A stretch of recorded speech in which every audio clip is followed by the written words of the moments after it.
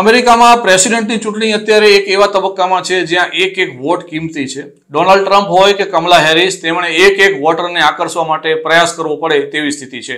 આ દરમિયાન Indian American વોટર્સમાં એક નવો શિફ્ટ જોવા મળ્યો છે.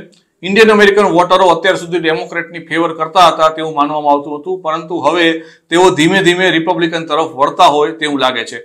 તમને ખબર જ છે કે ડોનાલ્ડ ટ્રમ્પ એ રિપબ્લિકન પાર્ટીના નેતા છે અને કમલા હેરિસ ડેમોક્રેટ્સના લીડર છે.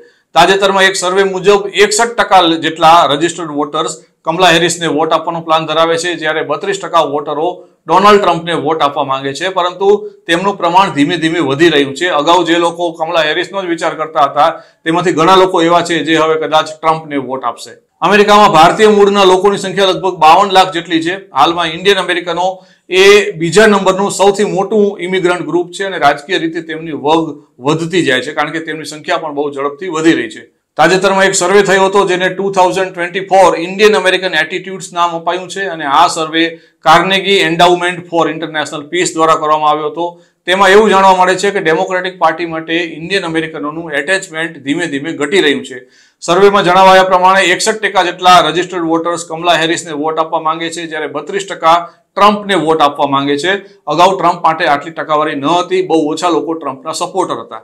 અમેરિકામાં હાલમાં ગર્ભપાતના કાયદા અને રિપ્રોડક્ટિવ રાઇટ્સ એ બહુ મહત્વના ઇસ્યુ છે. આ ઉપરાંત ફુગાવો, મોંઘવારી ભાવ વધારો જેને કહેવાય ઇકોનોમી રોજગારી, આ બધા એવા મુદ્દા છે જેના ઉપર ઇન્ડિયન અમેરિકનોને અસર થાય છે.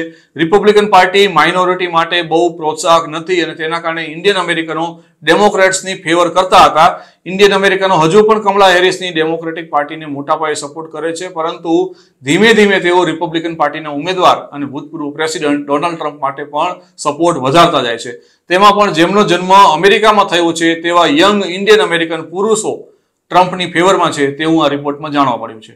કમલા હેરિસ પોતાના ઇન્ડિયન વારસાનો ખુલ્લેઆમ સ્વીકાર કરે છે અને તેના કારણે ઇન્ડિયન અમેરિકન રાજકીય વ્યૂ તરફ તેમના બધાનું ધ્યાન ગયું છે. અમેરિકન ઇન્ડિયનોને હાઈ ઇન્ટેન્સિટી વોટર ગણવામાં આવે છે કારણ કે તેઓ મોટા પાયે જઈને વોટ કરવામાં માને છે અને તેના કારણે બંને પાર્ટી તેમને આકર્ષવા માટે તમામ પ્રયાસો કરી રહી છે. કમલા હેરિસ પોતાના ચૂંટણી પ્રચારમાં બધાને યાદ અપાવે છે કે તેમના માતા ઇન્ડિયાથી આવેલા ઇમિગ્રન્ટ હતા. બીજી તરફ રિપબ્લિકનોનું જે કેમ્પેઇન છે, તેમાં ટ્રમ્પના વાઇસ પ્રેસિડેન્ટના ઉમેદવાર જેડી વેન્સના પત્ની ઉષા વેન્સનું નામ લેવામાં આવે છે અને તેઓ પણ અત્યારે ચર્ચામાં છે.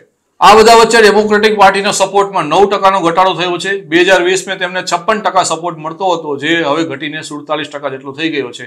કોમ્યુનિટીની પ્રેફરન્સ એટલે કે પસંદગી બદલાઈ છે અને ગઈ ચૂંટણીની સરખામણીમાં વધુને વધુ લોકો ટ્રમ્પ માટે વોટ કરવા ઉત્સુક હોય તેવું લાગે છે.